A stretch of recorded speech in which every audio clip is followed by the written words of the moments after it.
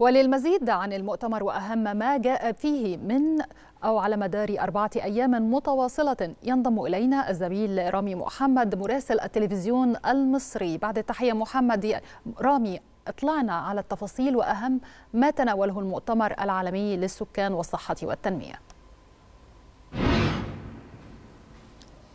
تحياتي لك ولكل متابعينا في ختام فعاليات المؤتمر العالمي للسكان والصحة والتنمية. هذا المؤتمر الذي انطلق على مدار أربعة أيام وأيضا به العديد من الجلسات. جاءت التوصيات في الجلسة النهائية والختامية اليوم بعدد من التوصيات والمقترحات المتعددة. إذا تحدثنا عن تعظيم دور المجلس القومي للسكان وأيضا الحديث حول إقامة هذا المؤتمر بشكل سنوي وتحديدا في العام المقبل ما بين الحادي والعشرين والرابع والعشرين من أكتوبر. في العام المقبل وأيضا التعظيم والتوسع في الخدمات الصحية الإنجابية وتنظيم هذه الفعاليات الخاصة بالصحة الإنجابية وأيضا التعاون الكبير مع منظمات المجتمع المدني في تعزيز وأيضا ونشر الثقافة الوقائية وأيضا الثقافة الصحية الإنجابية في العديد من الأماكن وعلى كافة السبل والطرق المختلفة.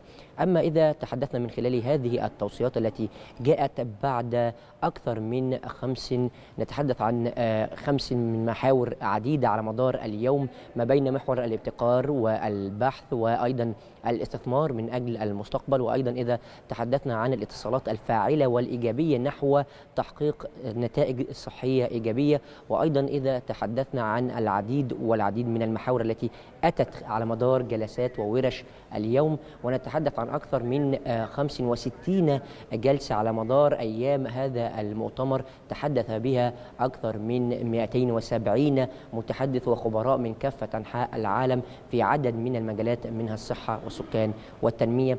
وأيضا إذا تحدثنا عن إقامة المعرض الطبي العالمي على هامش هذا المؤتمر وشارك بها العديد من الشركات وأصحاب المصالح في هذه المجالات المتنوعة. وكان لنا العديد من اللقاءات مع الخبراء الدوليين تحدثوا عن أهمية هذا الأمر والانطلاق من خلال مصر نحو إفريقيا والعالم أجمع في هذه القضايا المتنوعة ونحو التنمية المستدامة التي كانت على رأس أولويات ومن العناوين الرئيسية في كافة الجلسات الخاصة بهذا المؤتمر. هذا هو المشهد المشهد الختامي للمؤتمر العالمي للسكان والصحة والتنمية. وعودة إليكم.